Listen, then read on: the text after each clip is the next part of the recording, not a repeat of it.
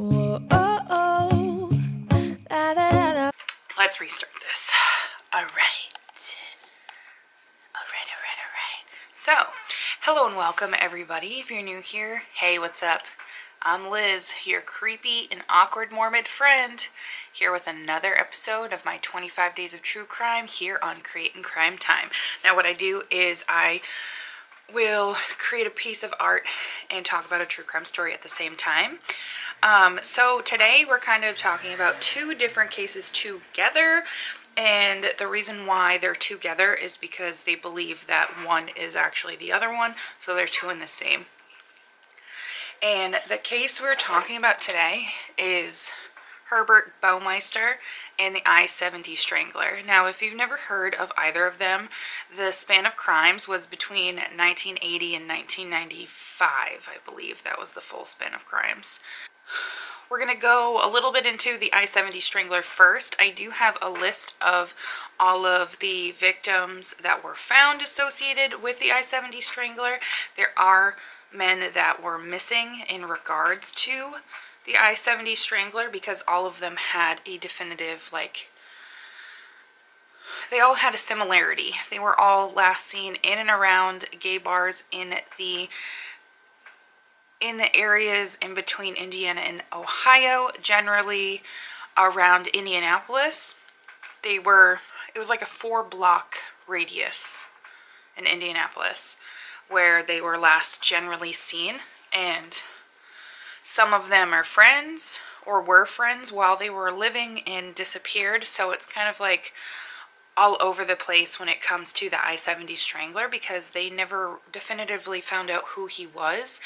It's only really tied, like, they believe it's Herbert Baumeister, but there's no definitive, like, that he did it because he is dead. And we'll never fully, we'll never fully know if he was the I-70 Strangler. So, the I-70 Strangler, there that span of crimes was between 1980 and 1991, and they stopped abruptly. This is another reason why they believe it's Herbert Baumeister, is because Herbert Baumeister moved to the Fox Hollow Farms in 1991. So there's a lot, I'll get into that in itself when we go into Herbert Baumeister. The first body that was discovered was Michael Petrie and he was 15. Now he was discovered naked. I do want to clarify something in advance. Most of these, all of these victims were strangled to death and that's why it's called the Strangler. Um, and it was from ligature um, strangulation so something was used to strangle them. And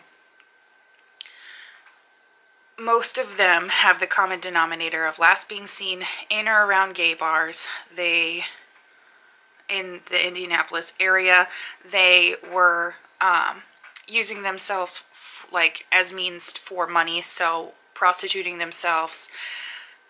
Some did have a background with drugs. Some were unknown to have like been living in a gay lifestyle by their family, um, and just little things here and there about like it's it's those similarities that really tie all these all these victims together. So and even with the array in age now the victims were young so michael is 15 and the oldest would be like late 20s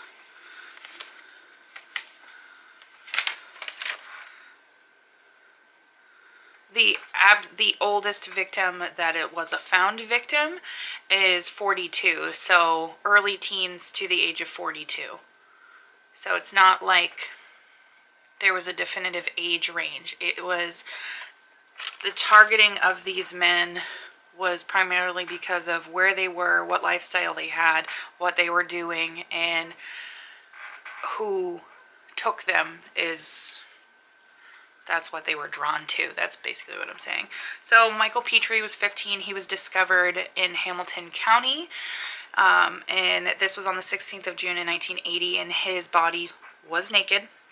So, despite his young age, he was known to have prostituted himself, and he did this frequently at gay bars in the area. He went missing on the 7th of June, but he was seen on the 10th of June riding around in a stranger's car. So, that was like the definitive last time somebody had seen him. After Michael was discovered, the next body that was discovered was Maurice Taylor, and Maurice Taylor was topless, so he had bottoms on. Just, you know, nothing on the top. So, and also this is this is my husband's desk. I wanted a different backdrop, and uh, you know, felt festive because the tree's right there. So, Maurice was discovered in July of 1982. Now, he was discovered in Weasel Creek, and this is also in Hamilton County. He lived in a boiler room in the apartment building. Um,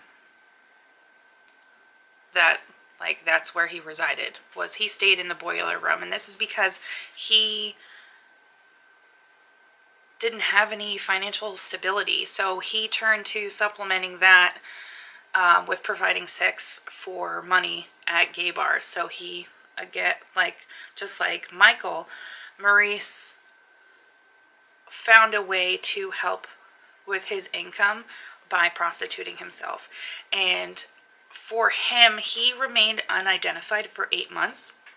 The reason being is because his mother was actually hospitalized and she never filed a missing persons report until like after she was released, which is really sad she's hospitalized, doesn't even know that her son is missing, and then she finds out that he's dead after she's hospitalized.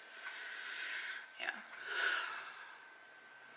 So, um, Delvoyd Lee Baker is the next to be found. He was 14, so he was an eighth grader. Um, he was found semi nude in a river in Hamilton County. Now, he was also known to have prostituted himself if he had no money so he could do what he wanted to do um, when he was out with his friends. His parents reported him missing when he didn't come back for his 10 o'clock curfew on the 2nd of October of 1982. And he would be found shortly after that in 1982. So Michael Riley was 22. He went missing on the 28th of May 1983, and this was after he was visiting the Vogue Theater. Now, this also has another name, but this was known to have been a gay movie house. That's what it's listed as. Now, I don't like throwing the word gay out um, as much as I have been in this, but that's literally written in fact that it's that's what it's being called is a gay movie house. Um, and he was last seen with an unidentified male that nobody knew who he was. His body was found nude and his body was found in a ditch in hamilton county uh, hancock county sorry on the 5th of june in 1983 so he was strangled they noted that he was strangled with a towel or something that was similar in fabric wise to a towel Eric Allen Rodiger was 17. Now, he vanished on the 7th of May 1985. And he was found shirtless in a stream in Preble County, Ohio. He was last seen accepting a ride from a blanket passing by car. Now, he was waiting for the bus. So, his family thought that he was um, basically going to like interviews that day, but he never he never went to any of them. And when he was found, they noticed that there was an apparent burn mark on his body and he was strangled by a rope. Michael Allen Glenn would be next to be found. He was 29 and his body um, was only clothed in underwear and he was discovered in a ditch in Eaton, Ohio in um, August of 1986. Now, he was a handyman and he especially worked in like the Indianapolis area, really helping those that needed help around their house and stuff like that.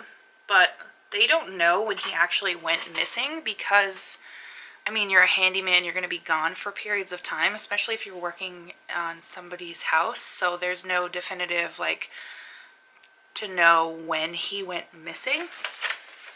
Um, and strangulation was again the cause of death for his case. So, um, and he wasn't identified for three years. They finally identified him in 1989 via fingerprint analysis. So that was finally like a good thing in especially in the media when he was finally identified so that his his family could know. Uh, James Robbins was 21 and he went missing on the 15th of October 1987. Now he went missing around 10 p.m. from his mother's house and he would be found two days later. His naked body was found in a ditch in Shelby County. Uh, Jean Paul Talbot is our next that would be found, and he was found in May in 19, 1981. Um, well, he would be the first one to be found. I kind of just like wrote them.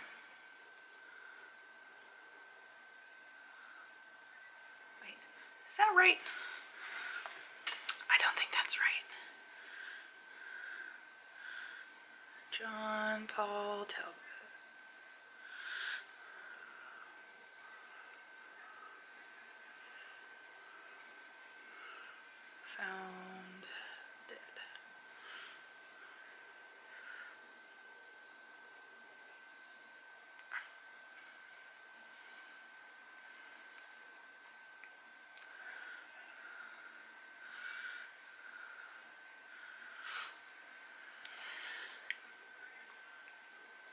Sorry.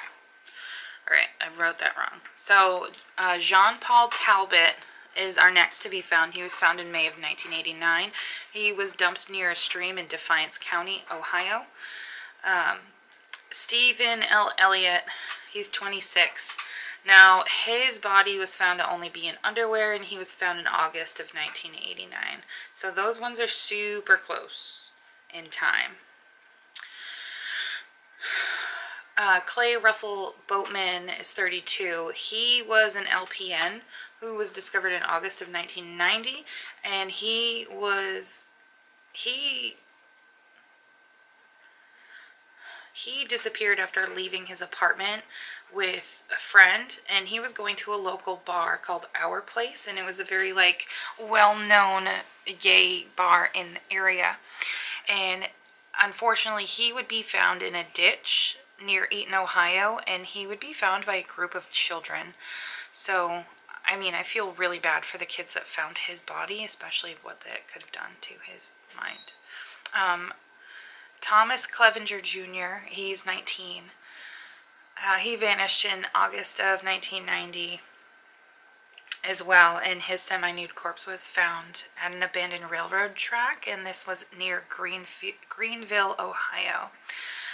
Now, the last one that was found, his name is Otto Gary Becker, and he's our oldest um, known victim of the I 70 killer.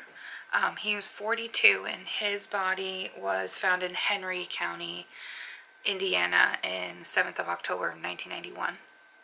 So, as all these bodies were being found, they had a team of investigators in oh, not even just in Ohio but in Indiana that were trying to like put the puzzle together of why they were being killed and how are they all related. They knew that it was a serial killer, they just didn't know definitively like what was happening. So, other there were other missing cases that happened around this time and they were Gary Davis, then there was Dennis Brogy, Brogy, I'll spell it B R O T Z J E. Um, John Roach and Dennis McNeve. These were other missing men in the area um, that they all went missing generally like in the same time frame, um, but they hadn't been recovered yet. So investigators also took note that these bodies stopped being found in 1991. Now, like I mentioned before, this possibly could be if Herbert Baumeister is the I 70 Strangler, then this is because he moved to the Fox Hollow Farms in Indiana in 1991. So, now that we have kind of discussed the I 70 Strangler, let's go into Herbert Baumeister. This man, this man is like. I don't even know. Like, you know how people say that if they generally help people with their mental health and things won't happen? Well, this this case literally is one of those. If his parents would have helped him with his mental health, then he would have been on a good regimen. I think he would have been fine.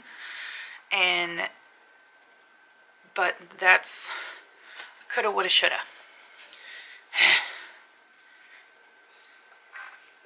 All right, so who is Herbert Baumeister?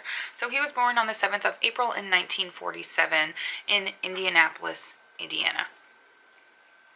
He's the oldest of four children to Herbert Sr. and Elizabeth Baumeister. His childhood was severely normal. His father was a doctor. Um, they lived a very good childhood, except for the fact that Herbert, he, uh, he started developing some antisocial behavior. He wasn't like he didn't have a lot of friends. Um, he would rather be playing with dead animals than people.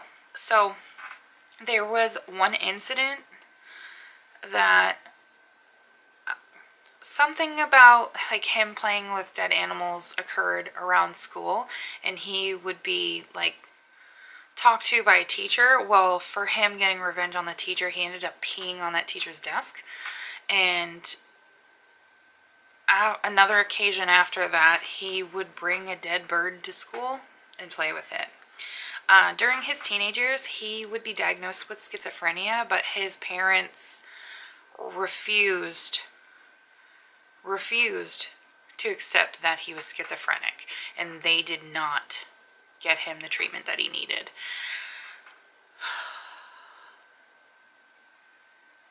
I swear, if parents need to pay more attention when it comes to mental health, especially for your children, because you don't know what effect your child will have on like on others in the future. You you seriously do not know, and it that is quite terrifying. Well, well, let's let's let's get a little more into uh, Mr. Herbert. Well, so he in 1965 he would attend Indiana University, but he would drop out. Um, eventually, his parents were like his parents got super pissed that he dropped out because his dad wanted him to follow in his footsteps. Well, Herbert was just like. I mean, not going to say that he was weird, but he was generally weird. He didn't have any friends. He preferred to just be like by himself or around dead things. Like he just he had very bizarre behavior. Um, he eventually would go back to college and he would meet his future wife, Julie. Um, he did go like after he met Julie, Julie, he would drop out of college again. He did go back to college for studying anatomy, but and that was in 1972. And this was at Butler University, but he would again drop out. Um, so in his adult years, he would drift drift through job to job, and his only real like permanent job he had would be at the DMV, so the Department of Motor Vehicles, and he got this job because of his dad. Like I he so thankfully his dad got him this job. He did have a strong work ethic, but because of his behavior, people noticed it at work. It was like really bizarre behavior. Um, he would marry Juliana Slater, that's his wife Julie. They would marry in 1971 and they would eventually have three children together. So I did find a fact that Julie did state, like, after everything about, like, the murders came out, and, um, is that they only had sex six times while they were married, and they were married for over 25 years. That sucks. Sucks. And they had three kids, so three out of the six times they had sex, they they made children.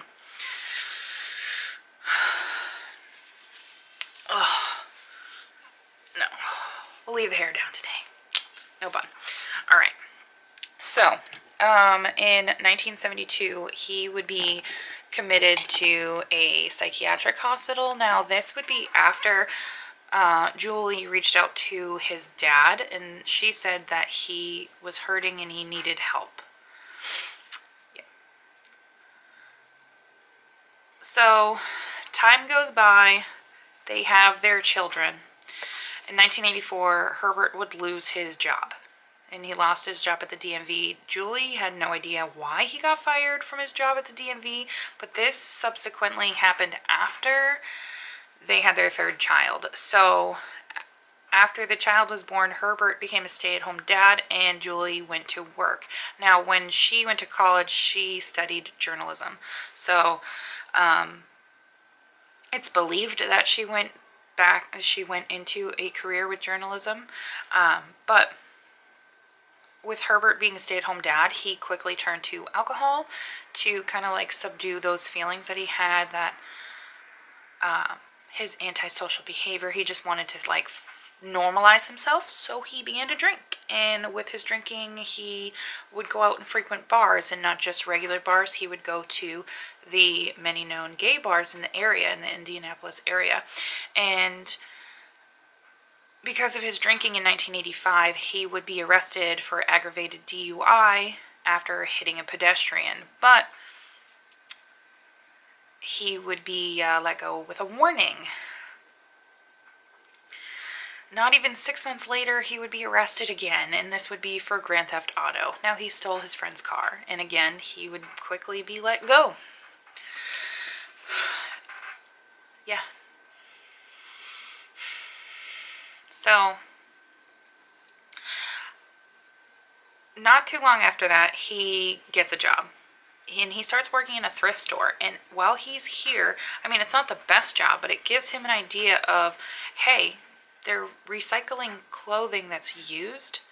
I can use this in my own business. So this is when he comes up with the idea to open a Sav-A-Lot and his wife helps him. Julie helps him.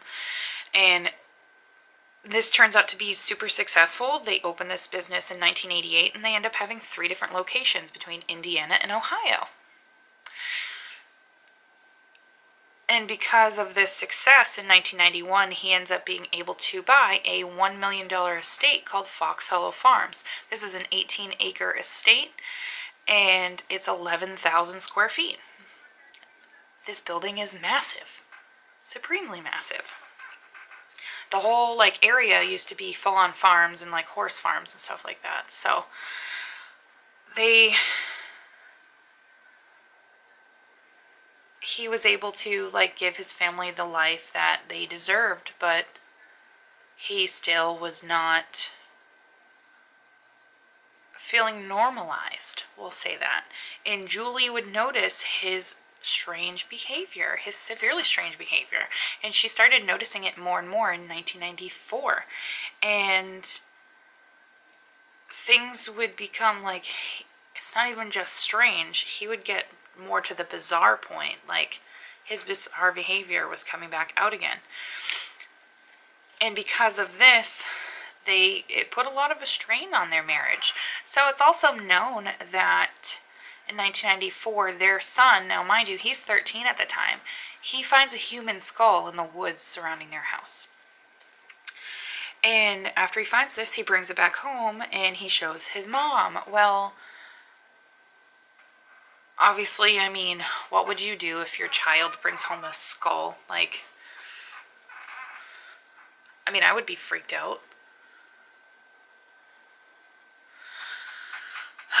so she asked him to lead her to the skull, and there in the woods she finds a pile of bones. Well, with Herbert, he has been grooming his family to, or trying to groom them to make them only inform him if something happens instead of going straight to the authorities.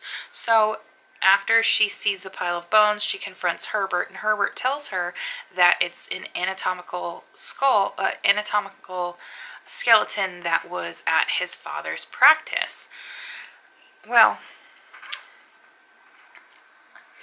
with Herbert, he was known as a pack rat, and they had a lot of stuff in their house, and a lot of stuff was like stacked to the ceiling, and especially in the garage. Well, what was in the garage was the actual true anatomical skeleton that was from his father's practice. That anatomical one found in the woods was actually a human skeleton, it wasn't a fake one. So Herbert just kind of like brushed it off as that. Julie found it a little weird, but didn't really think of any anything of it because that I mean, Herbert had a an answer for when she asked like what it was. So it wasn't like something like super super out of the ordinary. You catch my drift? All right. So in 1990, the Marion, uh, Marion County Sheriff's Off Department was investigating the disappearances of men. So, like I was talking about with the men that disappeared, along with the I 70 Strangler, and the, between 1990 and 1992, this is when they were noticing that there was a similarity between height, weight, and age of all these gay men that were going missing in the area. And then also we have all the men that they were discovering being ditched in, near water, near the I-70, in ditches throughout the 80s. Like, so everything was kind of like coming together piece by piece by piece. Well, everything kind of like shifts for the better. A man named Tony Harris. Now this is his this is his alias. We don't know what his real name is. He contacts them and he informs them that his friend Roger he believes that a man named Brian Smart killed Roger. And he believes this because Brian Smart is a known like kind of a known patron at the gay bars in the area, and he, went with him to his house. So, while he went to him, went with him to his house, uh, Brian attempted to kill Tony with a pool hose. And this was during an autoerotic asphyxiation session. So, if you don't know what that is, it's when you strangle somebody while you are having sex. And it enhances your euphoria while you're in the act.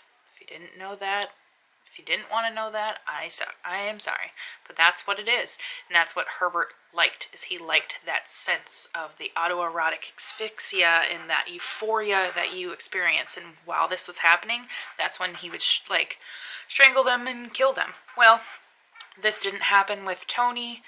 Um, he would wake up after passing out and he was able to get away. So,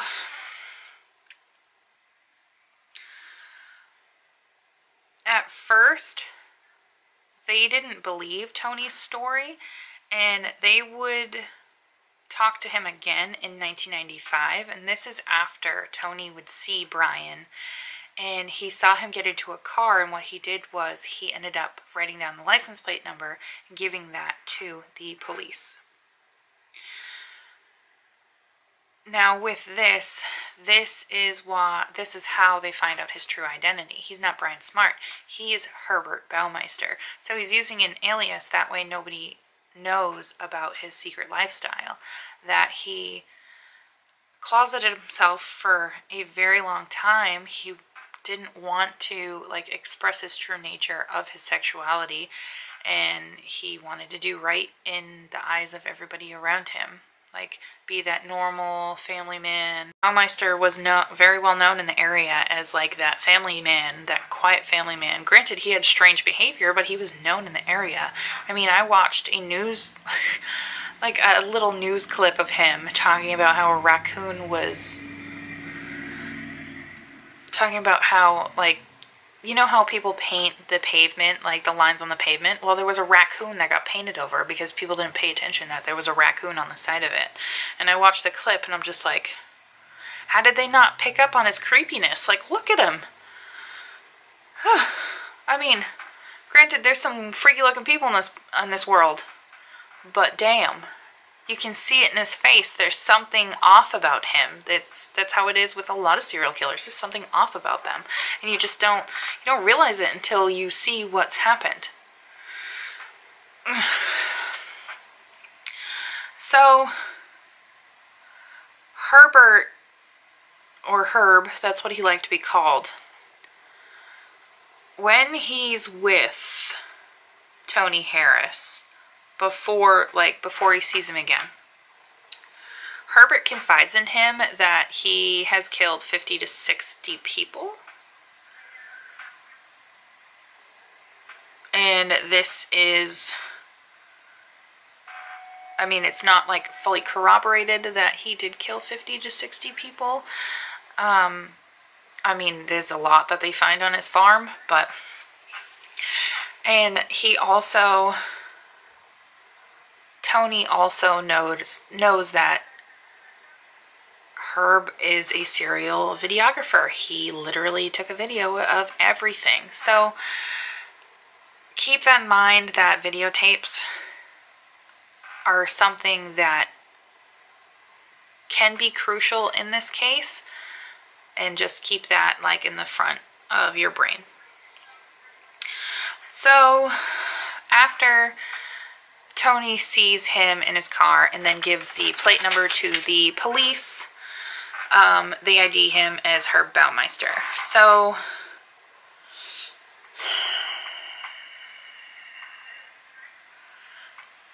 it wouldn't be until 1996 when they get to actually search his farm. And this is after his wife contacts the police. Now, so because the police were already investigating him, they realized that the alias he was using was just his cover. And they kept hearing the same name around the gay bars in the area. So what they did was is they they went to Fox Hollow Farms and they asked if they could search his property. Well, him and his wife Julie were quick to say no. No, you can't do that. We don't want you to search the farm. Well, this would all change after after Julie contacts her lawyer and tells her lawyer that they need to have the farm searched. So, lovely Julie. This none of this would be found without her. So, in June 1996, she becomes severely frightened by his behavior and she files for a divorce. Well, they partly reconcile and what they do is they end up going to their um, their summer condo which is like on a lake so all of them go together and Herb says that he has to take care of some business. Well, she takes this time to contact her lawyer and tell her lawyer that, hey, we need to have the how the farm searched because something's going on. Something's not right with Herbert. So her lawyer contacts the police. They get a search warrant, and what they do is they go to the 18 acre estate. Well, it's during this time that Herbert escapes because he knows that they're going to find things. Well, he ends up going to Canada and he goes missing for eight days. And his first night there, he ends up stopping underneath a bridge so he can sleep. And in his car is videotapes. Now, Tony had relayed to the police that he was a serial videographer, so he recorded everything. When he was sleeping in his car, a Mountie, eh, obviously he's in Canada, the Mountie taps on his car and says, Hey, you can't sleep here. And she notices the videotapes in the back of the car. Well, when he is found the next day, which he is found after he commits suicide um, via gunshot wound, there's no videotapes, so he did something with them, and they have not have yet to be recovered to this day. And at this campsite, they find a three-page suicide note, and in this suicide note, he talks about how his failed marriage, his business, um, were the reason why he needed to kill himself. He feels like he failed in life. He's not a good dad. His marriage is going to shit because they just they don't work well together. Lovely, right? Lovely. So now he's dead. While he's missing, so backtrack a little bit. While he's missing, the police are searching the farm. And what they end up finding is they find a burn pile. And this is where they find like little pieces of bone and they find some human teeth. So they end up searching this area for about a week and then they start packing up their stuff to search into a different area when a neighboring like child, a young boy comes over and asks, "Hey, what are you looking for?" So the police they just respond, "This is a crime scene. We are searching for human remains." And the kid's just like, "Oh, like bones?" The cops are just like, "What?" And the kid's like, "Oh, you're gonna find uh, bones by the creek." So clearly, this boy has found bones that he knows of that have been disposed. So they end up they end up finding the bones that he's talking about. Now there's two different areas that the bodies were disposed in. One was the creek and one was a mulch pile. So the mulch pile was on the west part of the property and the creek isn't isn't even technically on the property. So in the mulch pile, he would dispose of the bodies and then like cover them up with leaves and stuff. Cuz I mean, that's what a mulch pile is. So Officially, they identified 8 out of the 11 full set of remains that they could find um, on the property. Now, there was a lot of fragments of bone they found. Uh, when they interviewed a forensic anthropologist in regards to what they found, the anthropologist believes that there was between 17 and 20 uh, bodies on the property and this is because there was 5500 fragments of bone that were found on the property. 5500 fragments. That's a lot of bone found. Yikes so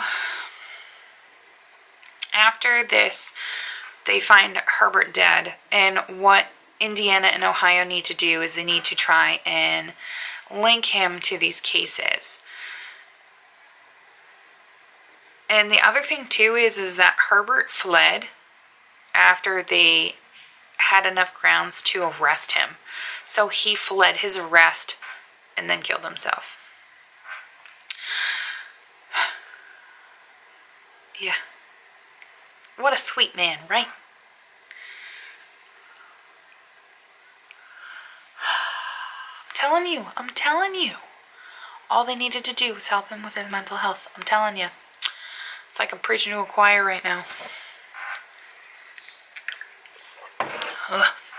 So the like I said, there's 11 victims that they, or full sets that they found on the farm. And eight of them are identified. So the ones that were identified were Johnny Bayer, then there's Alan Wayne Broussard, Roger Goodlett, which Roger is the friend of Tony Harris. So they found his remains after he was missing. Uh, Richard Hamilton, then we have Stephen Hale, Jeff Jones, Michael Kieran, and Manuel Resendez. And the last three have yet to be identified because uh, I mean you need a DNA source to be able to identify them. I mean hopefully they'll do genetic genealogy to find out who they are because they'd be able to extract mitochondrial DNA via your bone marrow but Yeah. So Herbert Baumeister, they tried to connect to the slayings in Indiana and in Ohio for the I-70 Strangler case. So what they did was is that the investigators from both states they contact Canada and they had one of like their people go up there to take fingerprints and palm prints because there was a palm print found at one scene and the testing was inconclusive. So this is how they aren't able to fully connect him to one of the to the cases.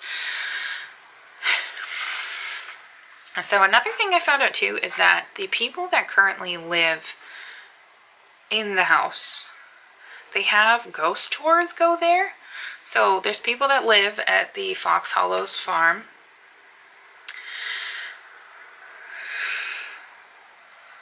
Yowza. And um, there's been several sightings by the people that live there of dismembered ghosts that are in the woods and um, like there was a there was a ghost tour that I was looking at like that I was watching. And the lady one of the ladies that was talking said that I can't go in a specific area because I feel weird and it's in Herbert's closet in his bathroom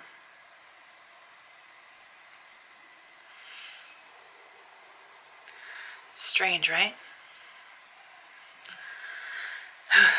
but yeah, so I hope you guys enjoyed today's true crime case of Herbert Baumeister and the I-70 Strangler. I know it's a lot to take in, and in, this case was massive. Like,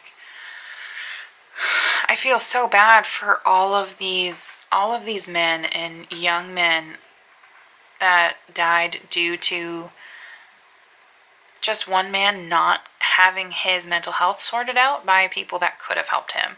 Because if they if they did so none of this would have happened. He would have received that it, the help that he needed. So anyway i hope you guys enjoyed today's video.